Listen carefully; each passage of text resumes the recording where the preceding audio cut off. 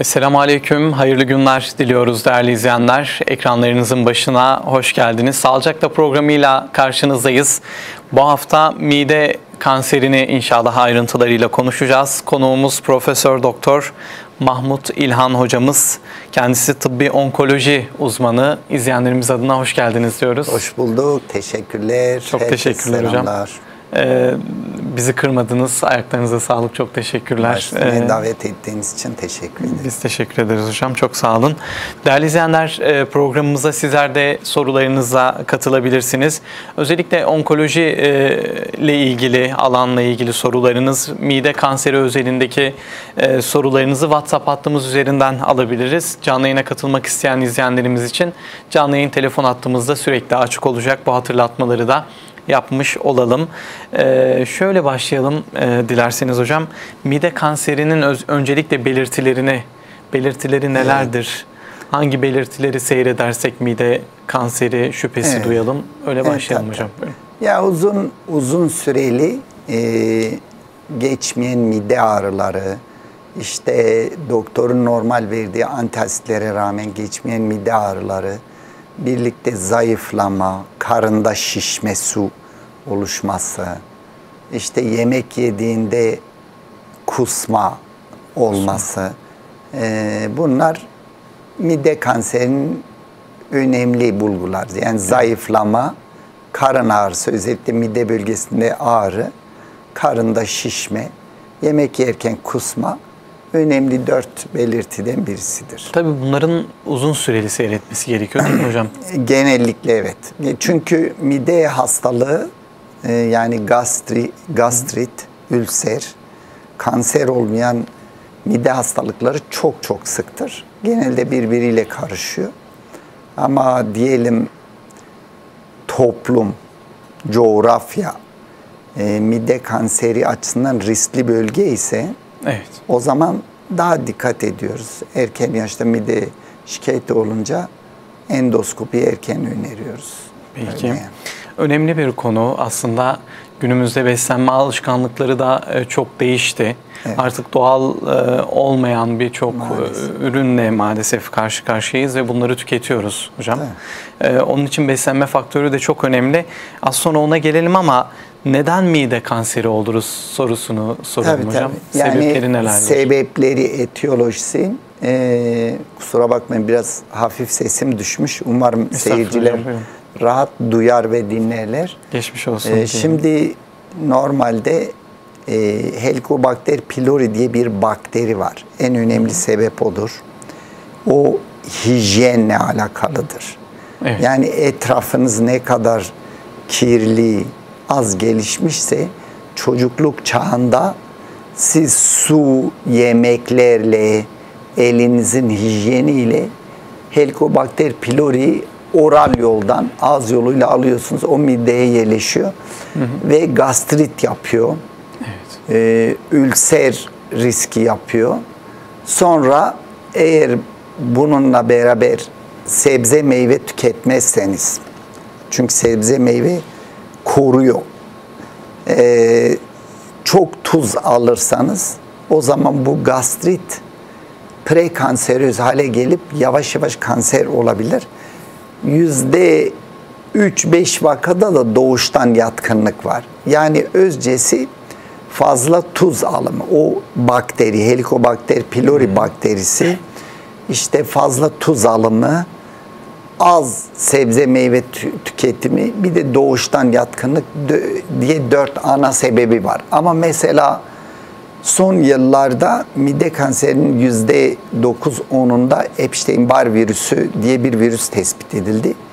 Onun için mide kanserini sınıf, sınıflandırırken Epstein-Barr virüsü tipi diye bir ayrıma da gidiyoruz. Çünkü onlar immünoterapiden biraz fayda görüyorlar. Epstein-Barr virüsün de mide kanseriyle ilgisi var. Evet. Ee, siz ifade ederken şöyle e, özellikle anne babalara da belki notu düşmek gerekiyor. Evet. Çocuktur ne olmuş dememek lazım. Mutlaka ellerini yıkayıp beslenecek değil mi hocam? Kesinlikle tabii. Hijyen yani hijyen işte çok e, önemli bir şeydir. Yani çocuğun e, toprakla, biz ben köylü bir insanım. Köylülerin toprakla ilgilenmesi çok önemli bir şeydir. Yani köylü çok önemlidir. Ancak işten dönünce hijyenik bir şekilde elimizi iyice yıkamamız lazım ki beslenme maddeleriyle beraber bakterileri mideye evet. almayalım. Peki. Şimdi beslenme faktörünü e, konuşalım. Ama öncesinde evet. şunu da merak ediyorum. Vakalar nasıl hocam mide kanserinde? Çok vaka alıyor musunuz? mide kanseri şöyle dünyanın hepsinde sık görülüyor. Önemli bir sağlık sorunudur. Yani dünyada en sık dördüncü, beşinci hastalıktır. Önemseniyor onkoloji camiasında da. Ama Di Diyarbakır, Akdeniz, öyle sıcak iklimli bölgelerde nispetten daha az görülüyor. Evet. Fakat mesela Türkiye'de en çok Van ve çevresinde görüyor. Van, Ağrı, Erzurum'un doğusu, Hakkari, evet. Bitlis'e kadar, Muş da dahil en çok evet. oralarda görülüyor. Ama mesela e, biz bir araştırma yapmıştık. Diyelim Ankara'da da az değil.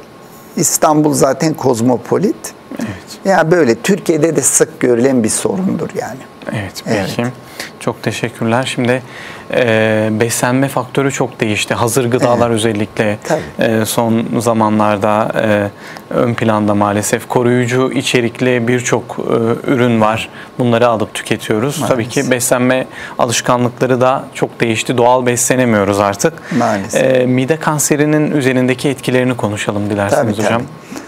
Yani şöyle mide mide kanserinde örneğin sebze meyve doğal sebze meyve tüketen toplumlarda az görülüyor. Az. Evet. Ee, bir de ispatlanmış deney ortamında da diyelim o e, mide kanserine yol açan bakteriyi alan mideler çok sebze meyve tüketirse gastritle kalıyor. Evet. O kanser öncesi lezyon kansere doğru yol almıyor. Dolayısıyla ispatlanmış bir şey. Yani sebze, salata, her gün salata öneriyoruz. Tüm kanserlerde olduğu gibi mide kanser riskini de azaltıyor. Meyve de günde işte 2 ila 5 porsiyon meyve mide kanser riskini azaltıyor. Ee, o şimdi sizin söylediğiniz fabrikasyon yani organik olmayan beslenme türü de e, şu, yani çok yanlış besinlerin negatif etkisi var nitrozamin diye bir şey midede oluşturuyor. Ama fabrikasyon ürünleri genel olarak genel olarak insanlarda e, kilo almaya meylediyor, yağ tutuyor. E, ondan sonra bu da prostat, kadında evet. meme, kolon kanser riskini arttırıyor. Mide ile ilişkisi çok ispatlanmamış ama onun üzerine de pozitif bir etkisi yok negatif etkisi de en azından ben çok literatürde böyle bir şeye rastlamadım. Hoş değil. Ben de tercih etmemek için elimden geleni yapıyorum. Yani şükür ki Diyarbakır'da yine köyler var. İşte köylüler bize yoğurt getiriyor. Bazı meyveler falan geliyor doğal. Çok memnun oluyoruz. Yani daha o konuda burada evet. sıfırı tüketmemişiz. Evet. Öyle yani özcesi salata, sebze, her türlü sebze ama ve meyve koruyucudur. Bu bilinmeli. Burada et çok seviliyor ya. E, et yerken eğer masanızda örneğin salata yoksa bilin ki sağlıksız bir yemek yiyorsunuz. Evet. Evet. Mutlaka yanında salatası olması Kesinlikle, gerekiyor. Evet. Yiyeceğimiz yemeklerin. Tabii. Peki. Ee, peki şöyle e, mide kanseri nasıl anlaşılır hocam? Tanısını nasıl koyuyorsunuz? Takibi nasıl yapılıyor evet, evet. E, bu işin? Öyle devam edelim. Tabii tabii. Ya şimdi mesela bizim şimdiye kadar yani bu Diyarbakır'da şimdi bir öğretmen bana geliyor mesela 27 yaşında falan onun ailesinde de mide kanseri varmış. Yani biraz kanser sıklığı gençlere doğru maalesef artıyor. Evet. Mide de öyle. Yani kronik mide ağrısı olan eskiden biz diyorduk 40 yaşını ama ısrarla mide ağrısı olan insanlar e, diyelim işte 30'undan itibaren endoskopi yaptırmalı. Endoskopi altın standarttır. Gastroenterolog gözüyle, hortumla yemek borusunu geçip midenin içine bakar. Öyle kötü gözüken bir ülser varsa, şüpheli polip varsa, kitle varsa biyopsi alır. Biyopsiyi de patolog birkaç günde teşhisi veriyor. Belli oluyor. Evet. Endoskopidir yani. Teşhisi endoskopidir. Ama mide kanserini daha basit tetkik eden e, bir tarama testi yok. Mesela evet. meme kanserindeki mamografi, serviks kanserindeki, rahim ağzı kanserindeki e, işte smear testi e, veya kalın bağırsak kanserindeki gibi işte rektosigmoidoskopi öyle değil. İlla ki endoskopi yapılması lazım. Mesela dünyada en çok Çin ve Japonya'da görülüyor, Asya'da, Güney Kore keza. Ee, orada e, gastroenterologlar değil, endoskopi bilen teknisyenler var. Dolayısıyla bir teknisyenin de maliyeti düşük olduğu için az zamanda yetişiyor ve periferde daha küçük yerlere kadar endoskopi gitmiş biliniyor ya çok sık görülüyor. Evet. O zaman teknisyen endoskopi yapıyor. Zaten yetenekli ise biyopside alıyor. Yoksa gastroenteroloğa ileriye sevk ediyor. Evet. Öyle yani. Sık endoskopi tarama erken yakalamamıza yol açıyor. Evet peki ama evet. zorlu bir süreç endoskopide değil mi hocam? Ya yani ben de kendime yaptım. Şimdi bir şey gerekliyse evet. önemli olan gerekli mi değil mi? Yani doktor ikna etmişse kabul etmek lazım diye düşünüyorum. Peki. Peki hocam çok teşekkürler. Mide kanseri çeşitlerine değindiniz ama bir kez daha e, tabii, tabii. sormak istiyoruz. Ee, evet yani mide kanserleri... Nasıl çeşitlendiriyorsunuz? Tabii, biz e, şöyle e, mesela diyelim gastroenterolog endoskopi yaptı. Yemek borusundan mideye indiği zaman yemek borusunun e, diyelim aletin 40. santiminde yemek borusu bitiyor. Evet. O zaman midenin kardiyası başlıyor biz kardiya ve mide yemek borusu bileşke tümörlerini proksimal diyoruz. Yani merkeze daha yakın. E, proksimalın anlamı o, proksimal. Ama daha gövdeden aşağı olanlara da distal diyoruz. Evet. Bunların biraz karakteri farklıdır. Tedavi yaklaşımında da farklı, gidişatları farklıdır. Özcesi yani mesela e, kanserin görüntü, kitlenin görünümü, ülserin görünümüne göre mide kanseri sınıflandırılması Dünya Sağlık Örgütü halen yazıyor onları ama çok önemli değil. Halkı ilgilendiren bir şey değil. Ama bizim bir bilim insanına mide kanseri geldiğinde biz önce diyoruz bu proksimal mi? Yani üst kısımdan mı çıkmış? Tedavi farklıdır çünkü. Yoksa orta alt kısımdan mı çıkmış, proksimal mi distal mi diye ikiye ayırıyoruz ve sonra evrelendiriyoruz bu şekilde. Bir zihnimiz e, kanser şüphesiyle hastaneye başvurduk. E, parça alacaklarını söylediler ama çevremiz almayın daha fazla yayılır diye Yok, bize telkinde bulundu. Ne yapmamızı değil. önerirsiniz? Parça aldırsın. Evet. O daha fazla yayılır fikri yanlıştır. Hı hı. Yani mide zaten mide parça aldığınız zaman midenin içidir. Midenin içidir. Parça alıp çıkıyorsunuz. Diyelim orada bir birkaç hücre midenin diğer kısmına dökülse ne olacak? Zaten o dökülen hücreler de yapışmasa ölüyor. Diye bir hiç yani onu kafasına takmasın hemen endoskopiye gitsin. Peki. Evet. Bu kanı e, çok yerleşti ama halkımızın içerisinde. Parça alırsak kanser daha fazla yayılır. Neden böyle evet. bir yani o iş yanlış bilgidir o. Şöyle evet. mesela nasıl oluyor biliyor musunuz? Eğer karın boşluğu büyük bir boşluk ya. Karın evet. boşluğunun içinde bir kitle var. Bazen biz ultrason tomografi altında girişimsel radyolog giriyor, parça alıyor. O parçayı alıp çıkarken karın içine ekim, ameliyat içinde parça alırken karın içine ekim olabiliyor. Ama mide biyopsisinde böyle bir risk yok. Evet. O ekim riski de bilimsel literatürde diyelim binde 3-4 falandır. Evet, çok yani düşük. biyopsi alınmadan kanser adı konulamaz her organda. Ee, Biz de onun için insanları hani tıpçıyız, teşvik ediyoruz yani biyo korkularını gideriyoruz. Bu yanlış bir fikirdir. Peki hocam çok Evet, teşekkürler. Ee, yine izleyenlerimizden gelen bir soruyla devam edelim. Bir izleyenimiz oğlum 5 yaşında ve hızlı bir Beş. şekilde evet 5 yaşında. Ee, hızlı bir şekilde 30 kilodan 22'ye düştü. Aşırı iştahsız sürekli e, yemek yerken zoraki çiğneme e, çiğniyor ve genelde e, her yemeğinde muhakkak yemeğini çıkarıyor. Ee, çocuk doktoruna götürdük. Ee, hen, henüz do- şeye de gidemedik diyor. Kontrole de gidemedik. Ee, sonuçları aşırı kansız ve enfeksiyon olarak bize söylediler.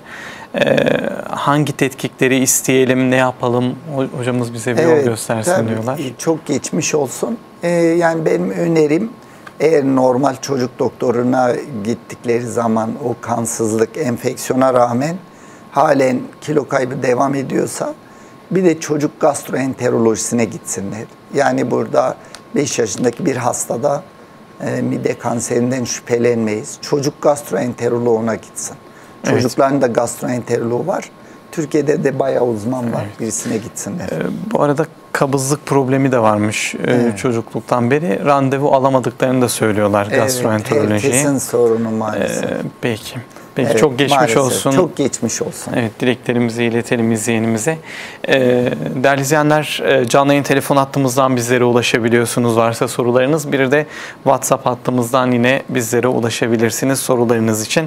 Ee, biz devam edelim. Ee, şöyle e, tedaviye geçelim biraz hocam. Tamam. Mide kanseri tedavisi e, tanı konuldu. Ondan Evet. sonraki aşamalar nasıl başlıyor? Neler Yani yapılıyor? Şimdi diyelim endoskopi yapıldı, biyopsi alındı. Evet.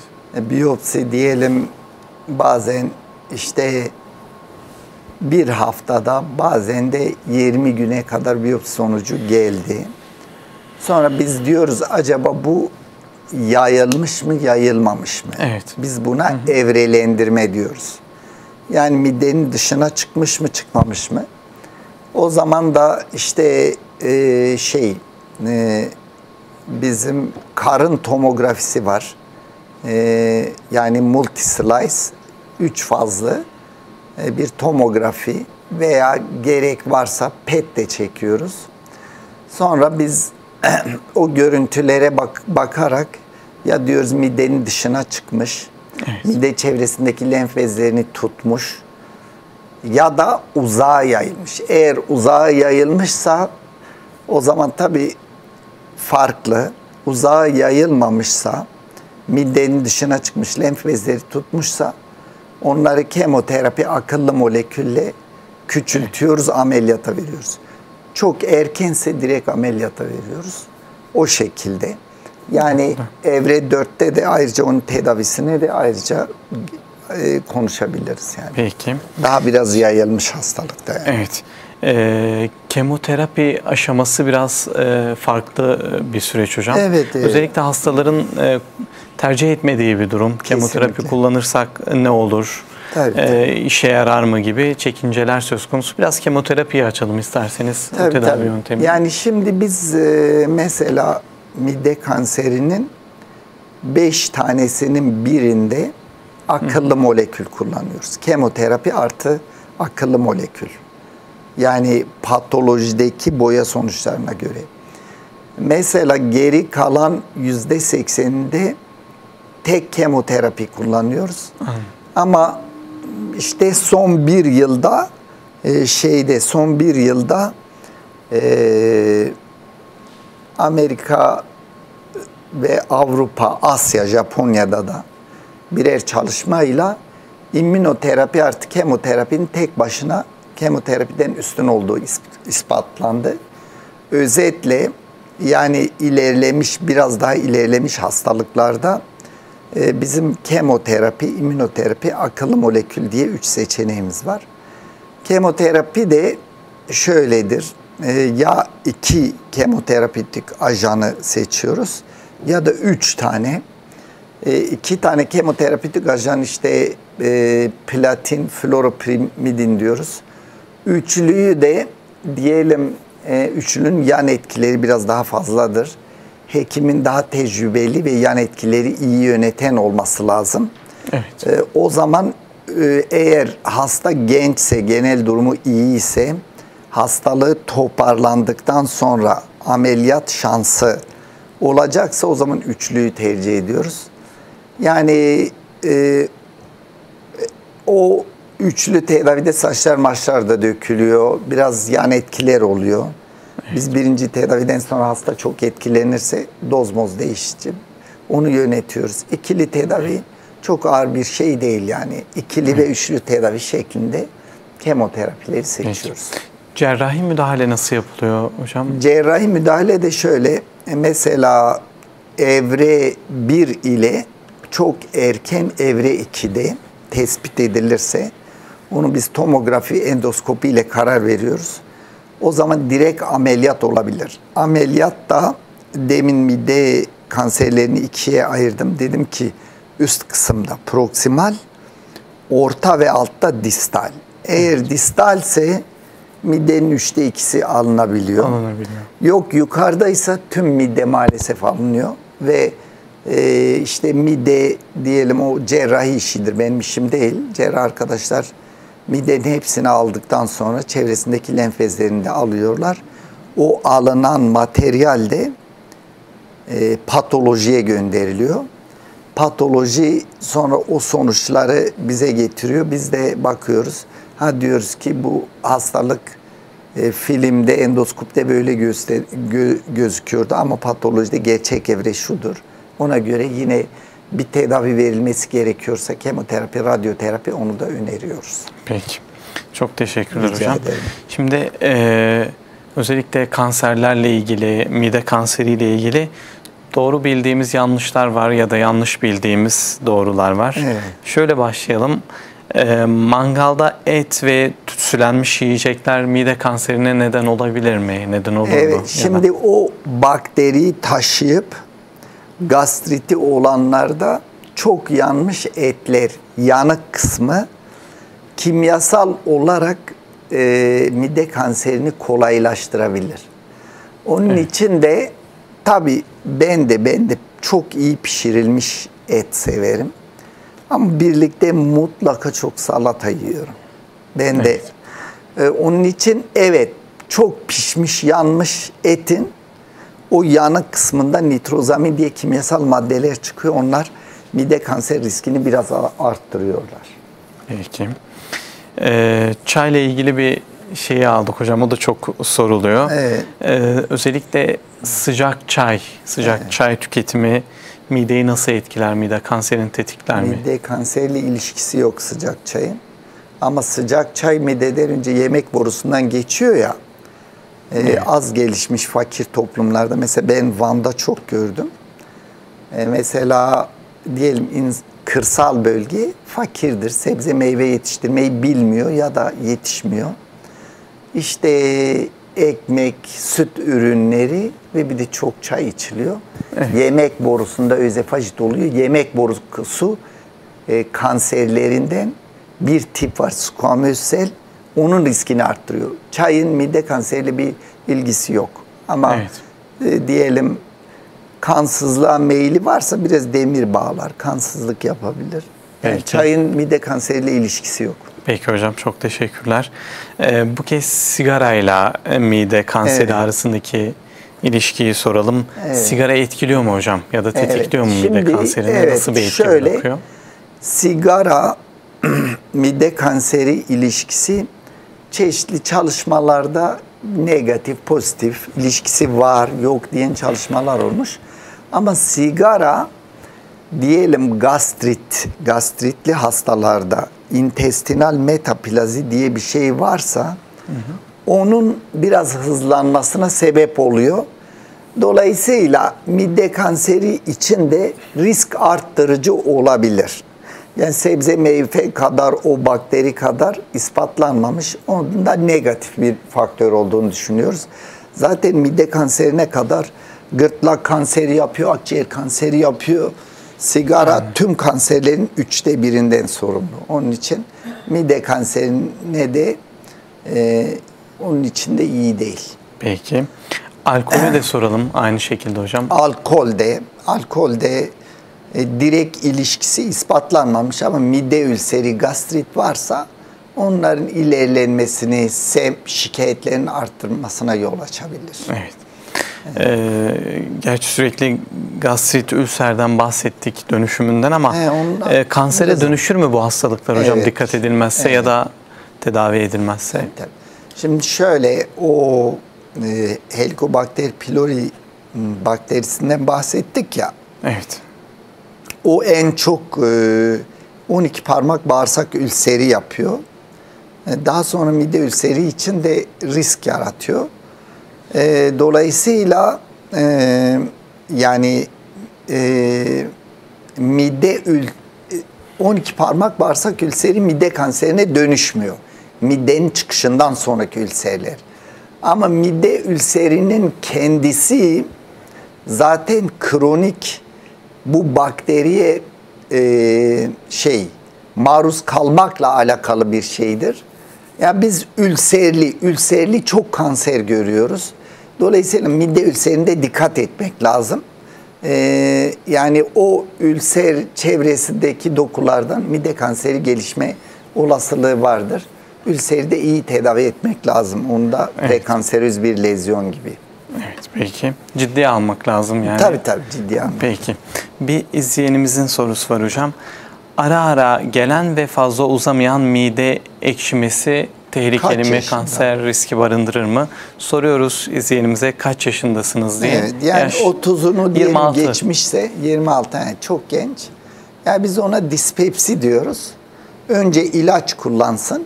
İlaç kestiğinde halen şikayeti devam ediyorsa o da uygun bir zamanda endoskopi yapsın ama mide kanseri belirtisi değil tabii bu. Evet. Tek başına yanma ekşime daha çok e, gastrit, asit artışı şikayetidir. Peki.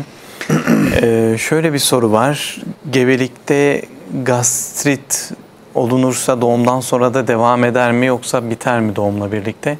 Farklı bir alandan belki geldi soru ama. Yani gastroenterolojinin bildiği bir konudur. Ee, hani gebelik, gastriti, gebelikten sonra nasıl seyreder doğrusu benim konu değil. Çok iyi bilmiyorum Peki. o konuda yorum yapmayı. Peki hocam çok teşekkür ediyoruz. Ee, şimdi mide kanseri teda- tedavi sürecini konuşuyoruz. Şimdi kemoterapi görecek bir hastayı nasıl hazırlıyorsunuz? Özellikle psikolojik Evet. olarak, Tabii, e, fiziki olarak bu süreci de e, merak tabii. ediyoruz hocam. O hazırlık süreci nasıl Tabii. yapılıyor? Yani şimdi mide kanseri eğer hani bir yerinde bir yerinde diyelim çok yaşlı değilse kalp şeker hastalığı yoksa e, mesela uzak organlara da yayılmamışsa biz ileride şifa şansını e, yani şansından bahsetmek için o üçlü kemoterapiyi seçip hastaya anlatıyoruz. Diyoruz işte bunu iki haftada bir diyelim boynundan port takıyoruz. Bu e, boyuna yakın toplar damarın içine port takıyoruz. Evet. Kemoterapi direkt port yoluyla kana verilebilsin diye yan etkileri azalıyor. Etkisi de artıyor. Hastayı da yani bu bu konuyu bildiğimizi, iyi tedavi ettiğimizi söylüyoruz. Hasta da güveniyorsa kabul ediyor. Öyle. Yani mesela şimdiye kadar diyelim tedavi kabul etmeyip giden hasta sayısı çok nadirdir. Ama ben kendi kişisel tecrübemde daha ameliyat şansı var olup da tedavi reddedip sonra evre 4 olup vefat eden hastalarımızı da biliyoruz. Ya ikna ediyoruz, ikna ediyoruz. Biz diyoruz bu bilgi bilimsel bilgidir. Dünyanın hepsi kullanıyor. Size de lazım kullanalım. Yan etki falan işte saçlarından kaygılanıyor. Bulantı, kusma, ishal. Mesela diyelim 70 yaş üzeri hastalarda da yan etki oluyor. Diyelim o en ağır protokolü verdik. İşte ishal kusması oldu. Serumla destekliyoruz. Bir dahaki sefere dozları yüzde on azaltıyoruz. Genelde rahatlıyorlar. Evet. Yani hekimle, klinikle direkt ve sıkı ilişki olması lazım. Peki. Ee, bir sorumuz var izleyenimizin.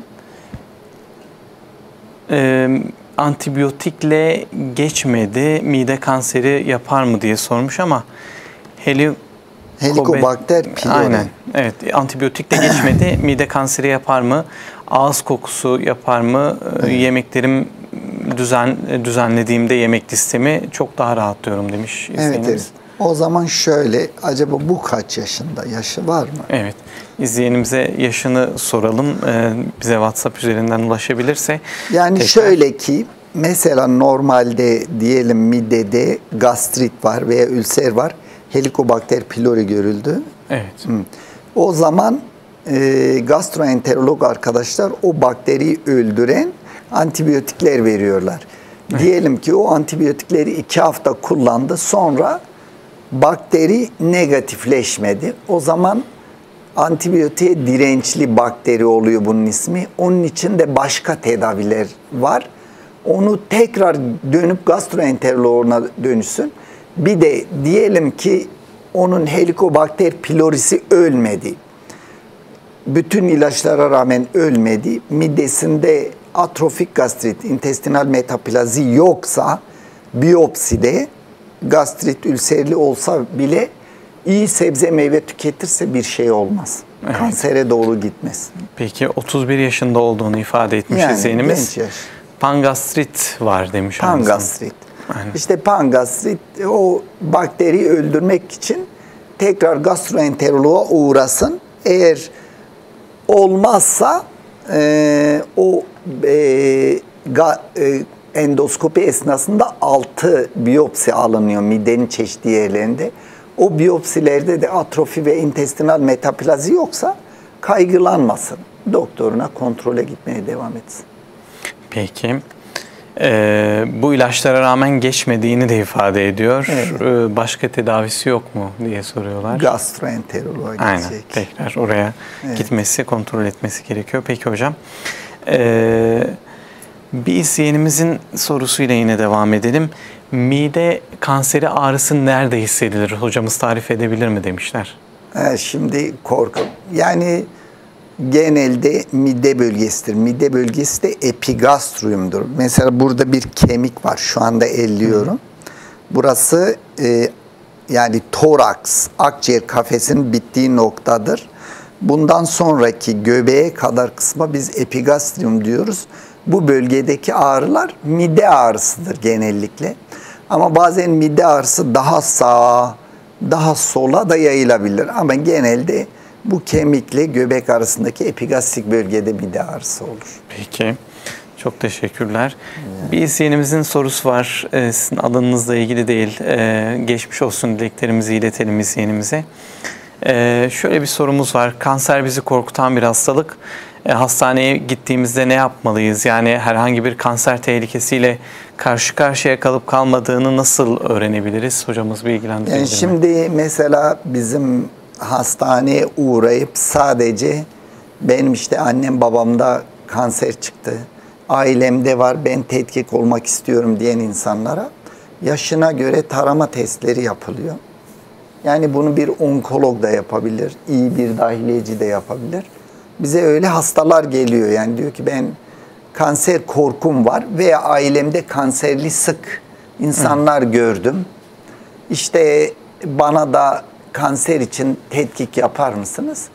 Yapıyoruz. Mesela bazı hastalar geliyor diyor ki işte mesela kadın ben diyor ablam 45 yaşında an, meme kanseri annem de 55 yaşında yumurtalık kanseri oldu. Ha o zaman bunda doğuştan bir yatkınlık söz konusu olabilir diye bunları daha önemseyerek tarıyoruz. Ama kimisi geliyor diyor ki babam beyin kanseri oldu. Örneğin evet. annem de işte yumurtalık mideyle direkt ilişkisi yok.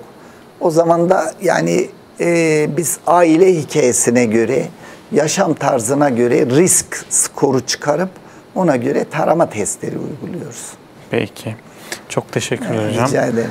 Ee, bir izleyenimiz MR filmi çektirdim. Omuzumda iki tane kist çıktı. Bunlar nasıl alınır? Yaşım 55 demiş. Ha, kistler içi boş şeylerdir.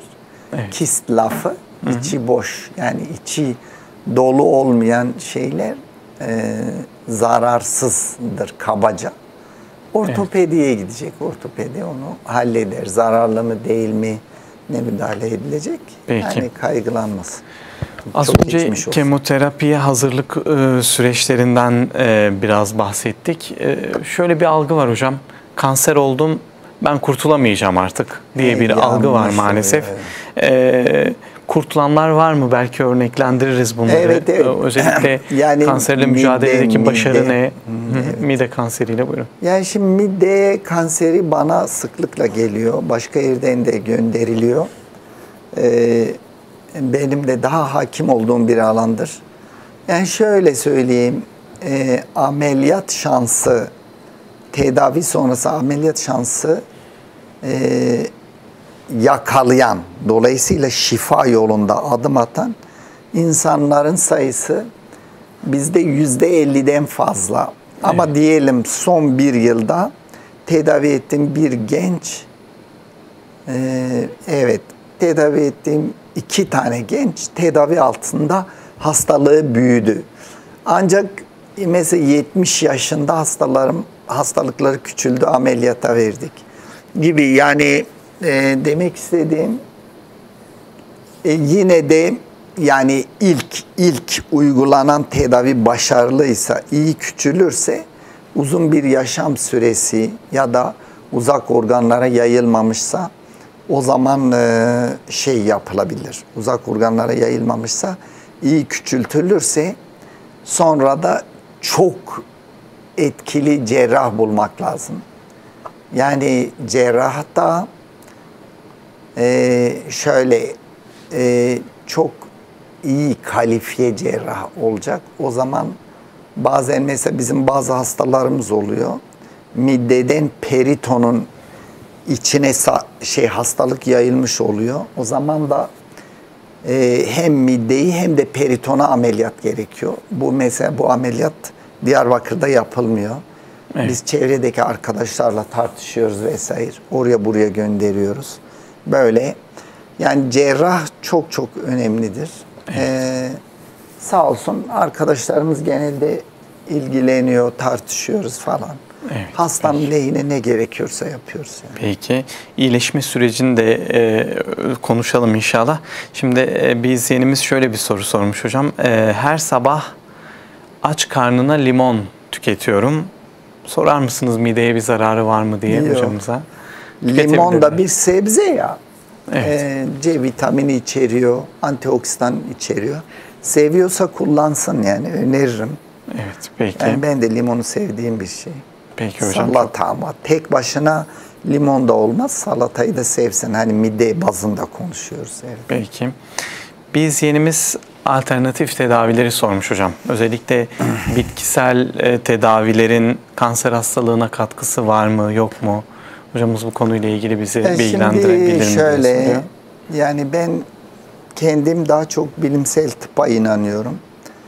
Alternatif tedaviyi de hastalarıma diyorum karıştırmayın. Biz kendi yolumuzda giderken karıştırmayın diyorum. Rica ediyorum. Açık davranıyorum. Onlar da açık davransın. Davranıyorlar ama bazen bazı hastalarımız diyor ben hastamı şuraya götürdüm, buraya götürdüm. Şu otu kullandım. Yani öyle Anadolu'da hikayeler çoktur. Falan kes böyle söyledi. Ama bununla ilgili yani şu otu kullanmış da 10 hastada şöyle olmuş diye bir araştırma yok. Anladım. İlle bir başarı varsa şuradaki otçu, buradaki alternatif çıp- tıpçı öyle değil. Doktorlardan da alternatif tıpla ilgilenenler oluyor. E, ben şöyle diyorum, ben diyorum hangi otu seviyorsan çörek otu, işte zencefil vesaire diyorum. Sevdiğin kadar ye ama ilaç niyetine alma. Kafa karışıyor. Evet. Peki. Geliyor profesöre bir miktar para ödüyor. Ee, o bir plan çiziyor. O da gizli başka bir otçu da bir plan çiziyor. Ya orada biraz şeylik var, e, nadürüstlük var. Onun için Peki. dikkat etsinler. Peki hocam çok teşekkürler. Diyarbakır'dan bir izleyenimiz var telefon hattımızda müsaadenizle. Hayırlı günler diliyoruz.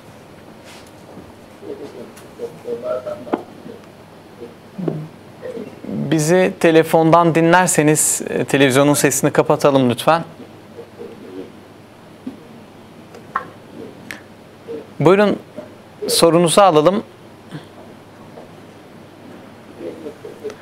Diyarbakır'dan izleyenimiz. Sesimizi alıyor musunuz?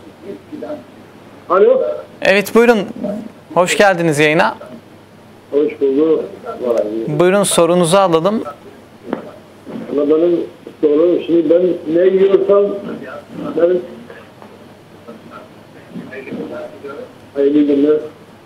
Bizi telefondan dinleyin. Televizyonun sesini kapatalım lütfen. Televizyonun sesini ben Televizyon yok ben şu an televizyondayım. Tamam. e, buyurun sorunuzu alalım. Ben, e, şimdi ben normal yiyorsam benim midemde eşkime yapıyor. Evet. Tamam. Şöyle yapsın. Tamam. Biz sizi uğurlayalım. Ee, çok teşekkür ediyoruz sizlere. Ee, sağlıklı bir iletişim kuramadık. Şişkinlikle ilgili soruyu soralım inşallah. Tamam. Allah'a emanet olun. Geçmiş olsun dileklerimizi de iletiyoruz. Çok çok sağ olun. Ee, Söyle dedi. WhatsApp'tan da aynı soru gelmiş hocam. Ee, ne, yer- ne yersem şişkinlik yapıyor demiş bir Evet. izleyenimiz.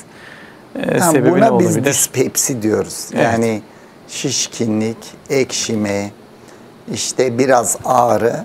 Bunlar da mesela 40 yaşına gelmişse mutlaka endoskopi yapılsın. Endoskopiye gitsin. Evet, Adı peki. konulsun yani. Bu gastrit Peki. mi, ülser mi, başka bir şey mi? Yani bu e, bize telefonla bağlayan vatandaşımız da gastroenteroloğa gidecek. Gastroenteroloğa gidip şikayetini anlatacak. Önce bir Peki. dahiliyeciye de gidebilir. Peki. Oradan yol alsın. Peki hocam çok teşekkürler. Ee, Artvin'den bir izleyenimiz var telefon attığımızda. Hayırlı günler diliyoruz.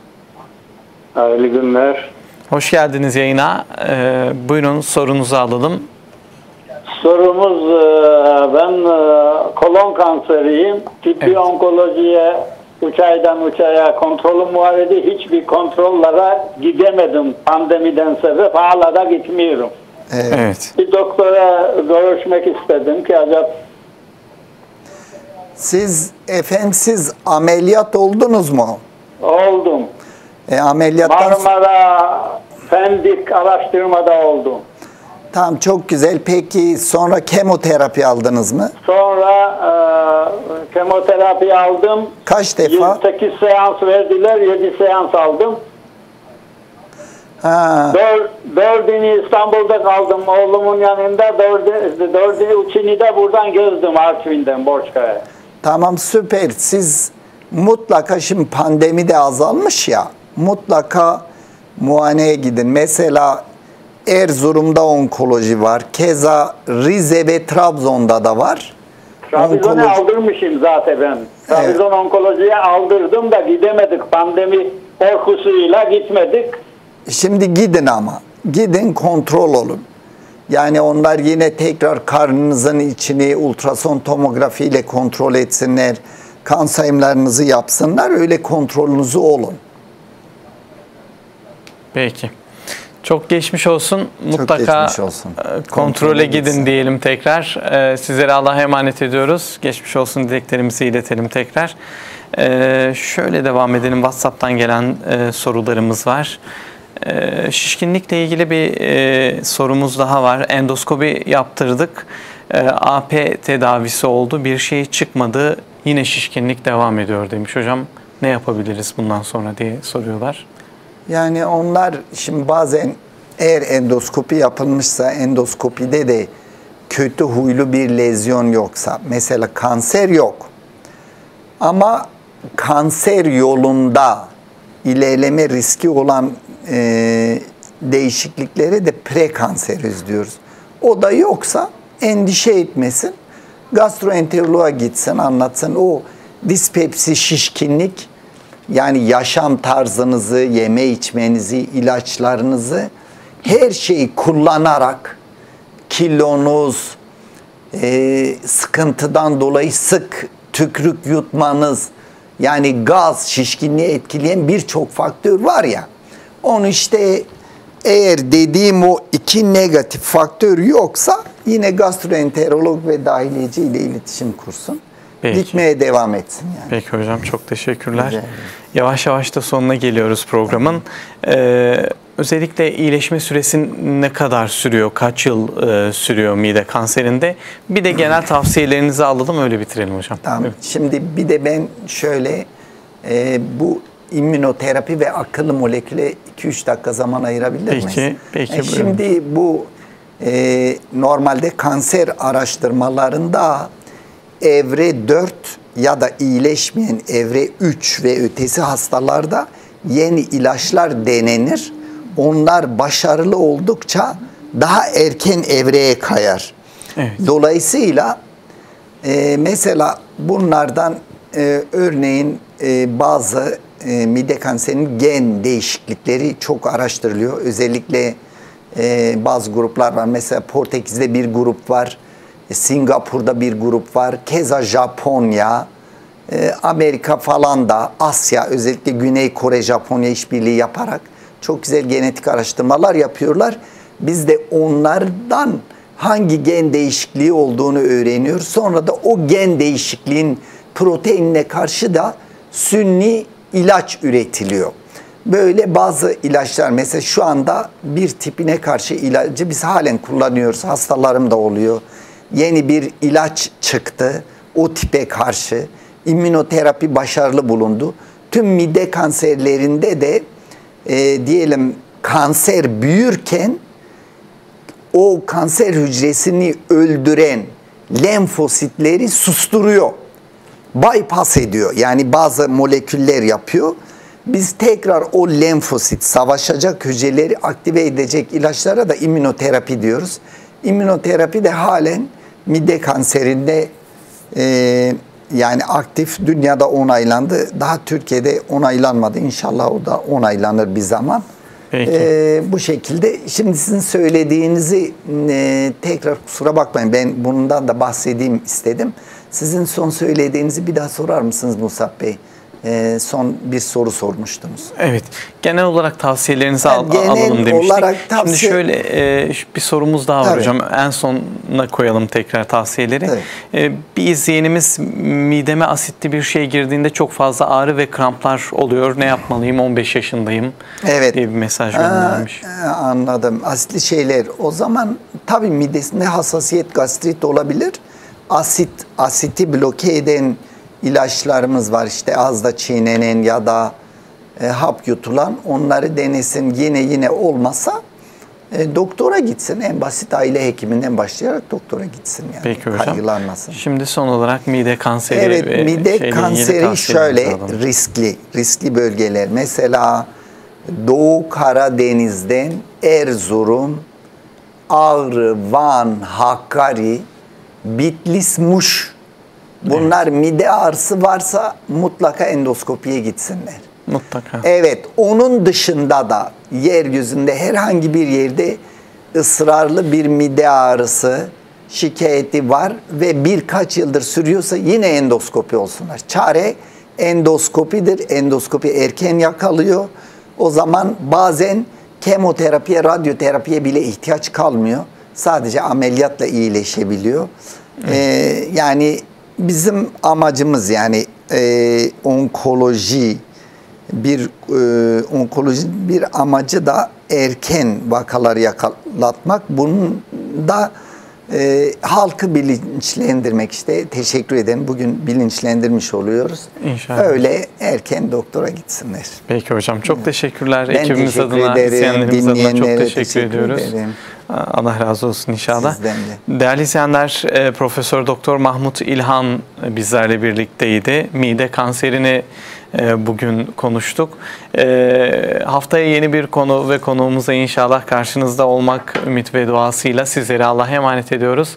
Hoşça kalın, sağlıcakla kalın.